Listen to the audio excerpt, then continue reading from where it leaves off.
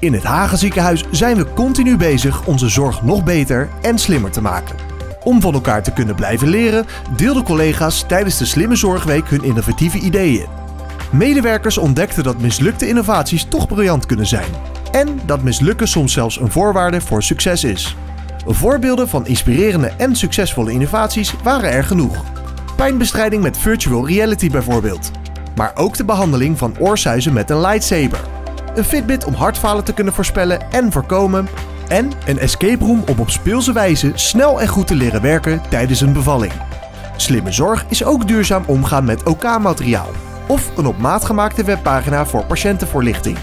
Deze en andere voorbeelden laten zien hoe veelzijdig en innoverend onze collega's zijn. En daar zijn we als Hagen Ziekenhuis terecht trots op.